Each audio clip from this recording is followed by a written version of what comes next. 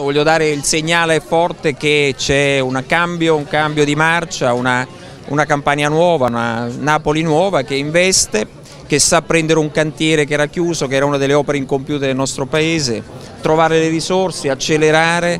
tenere qui 350 lavoratori, operai che è un esempio di velocità, ma per far che? Per aprire un ospedale, per poter dare un po' l'ambulatorio immediatamente ai cittadini campani, per dare intanto un segno di ripresa, una voglia di cambiamento e quindi credo che sia un buon esempio soprattutto per un tema così delicato dopo i tanti tagli, i tanti sacrifici dobbiamo invertire la rotta e dare un segnale di forte cambiamento attraverso queste grandi strutture e soprattutto con lo sblocco del turnover, ieri ho firmato questo decreto come sapete per 1118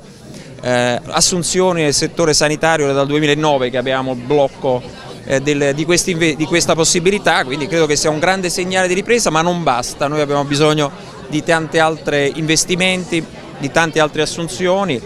Abbiamo però iniziato a cambiare, a cambiare le cose. Dopo tanti anni di disastri eh, che abbiamo ereditato e vogliamo veramente farlo. Il Ministro ci ha dato un segnale forte di incoraggiamento che quindi faremo insieme una lunga strada per cambiare questa nostra sanità.